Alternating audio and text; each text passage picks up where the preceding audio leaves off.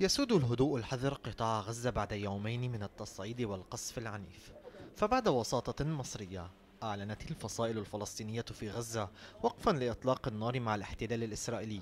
الأمر الذي قد ينهي أعنف جولة بين الجانبين منذ العدوان على القطاع عام 2014 حركة حماس أكدت أن المقاومة ستلتزم بوقف إطلاق النار طالما التزم العدو به. وفي وقت سابق أوعز المجلس الأمني الوزاري المصغر لحكومة الاحتلال إلى الجيش الإسرائيلي بمواصلة العمليات العسكرية في غزة وفق ما تقتضيه الضرورة.